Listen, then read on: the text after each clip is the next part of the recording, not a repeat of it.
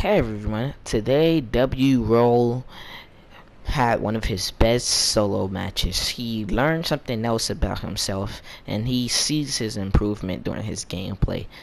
There's a lot of things he needs y'all to know and to teach y'all, but he forgot to commentate in this video earlier.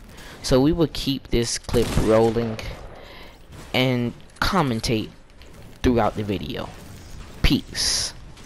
So right here, I took fall damage a little earlier throughout the match. I was taking to make it. I saw someone on this hill, so decided to build up and you see what I do from there.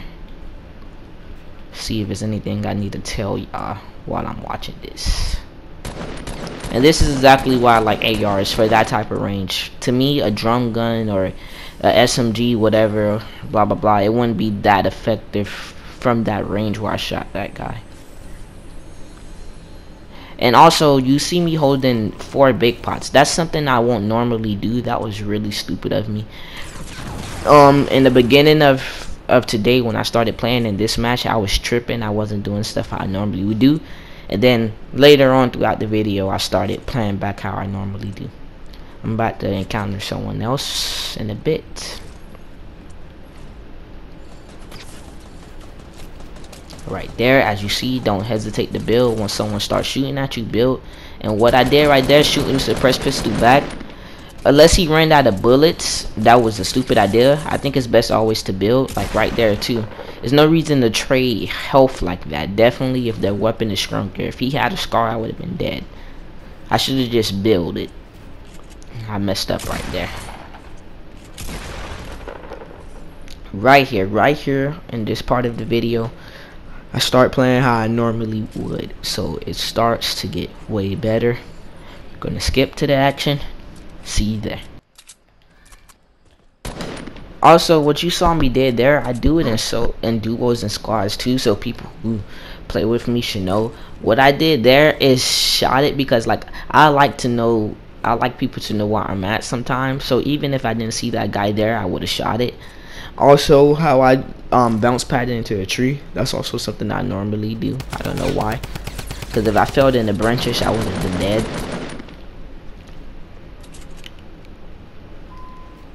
Booga booga booga. I played everything right there well.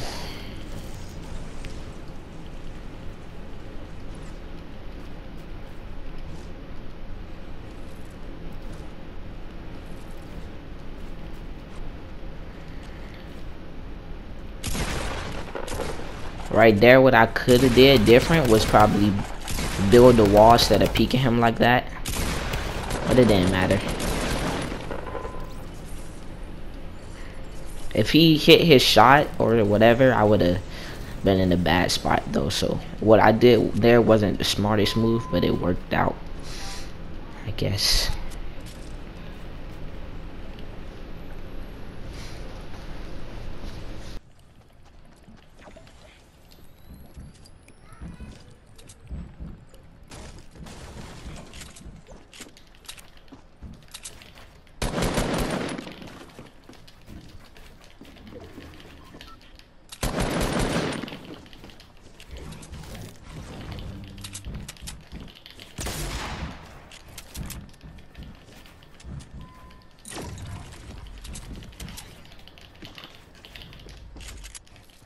Okay, I guess this is, can be a perfect example. What I did right there was a mistake. But you see, as none of my guns was reloaded, it's best to disengage if possible and reload. I mean, and like get yourself settled so you're ready for the fight. It doesn't matter whether you gotta heal up or whatever, just disengage. You don't have to keep on fighting so much.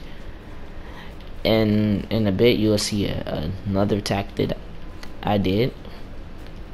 And once I took the high ground, I could have switched to my traps. Right here, perfect. Trap them. When you put someone in a box like that and you have traps, to me, I think it's best to always use it. And you'll hear another footstep down there. Show y'all a bit more examples in this next fight.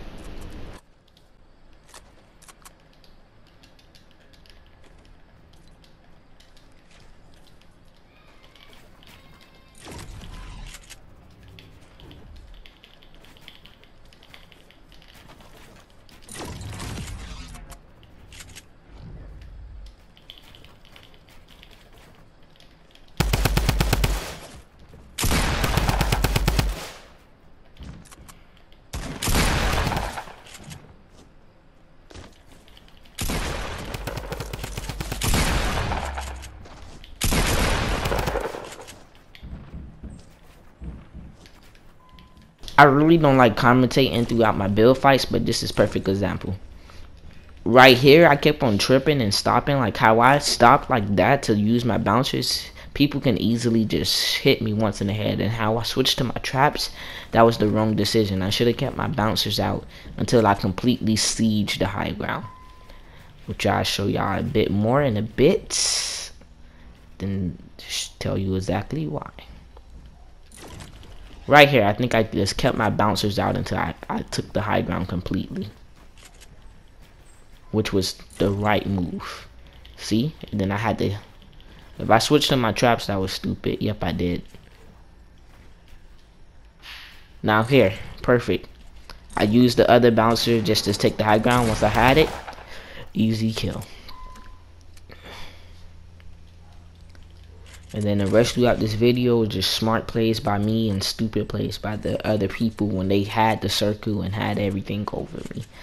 So there's no reason for me to commentate no more throughout the video unless I get to my next fight. And see you there.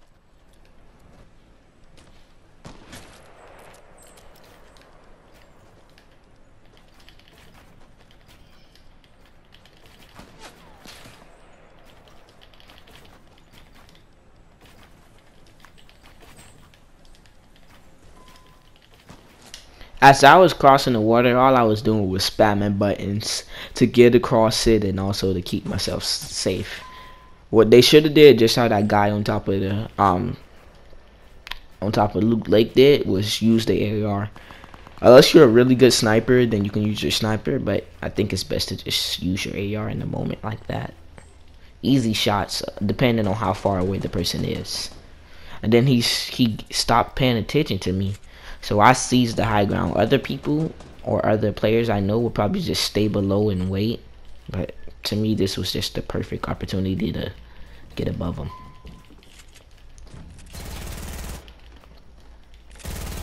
Could have been trapped this kid also. Right there, I could have just went over there to where he was and trapped him, but I don't know what I was doing.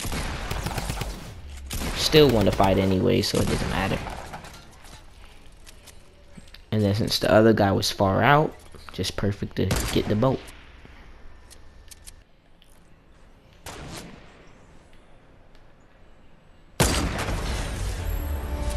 Get out my face, kid.